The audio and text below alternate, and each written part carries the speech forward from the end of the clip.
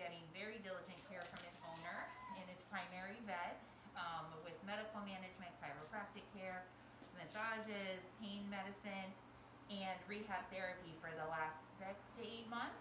Um, and he's still progressing. So one of his treatments is laser therapy, and what we're going to do is treat a section on his back.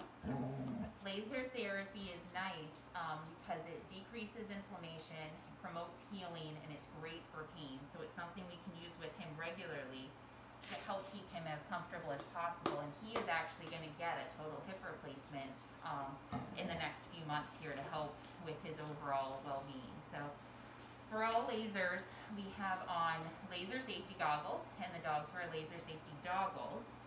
And lasers are dosed just like a medication. So it's on poundage, it's on where we're treating, and it's on severity of what we're treating. So for him, we calculated out how to treat his back.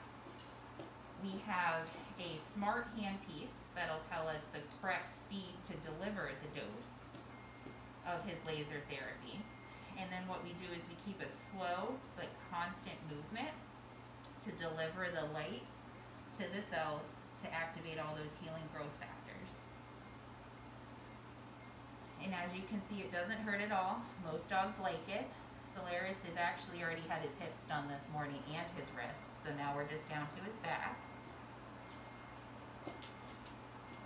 And the other nice thing about laser is it works great for cats. It's a great tool for pain in cats.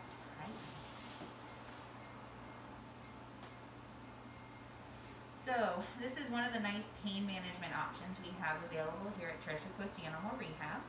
Please feel free to DM us, call us, or email us with any questions or concerns. You can also follow, follow us on Facebook, and you can find Solaris the Therapy Dog on Facebook.